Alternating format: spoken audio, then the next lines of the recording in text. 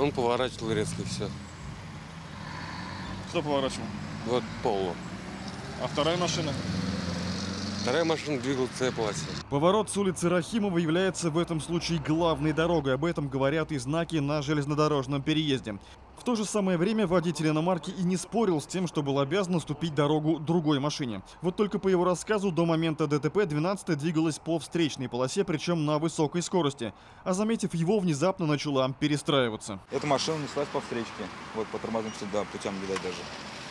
И въехала в него. Рассказ водителя Volkswagen отчасти подтверждается и тормозным следом, который оставила за собой вторая машина. Однако даже в этом случае инспекторы ГАИ посчитали, что причиной ДТП стала невнимательность водителя иномарки.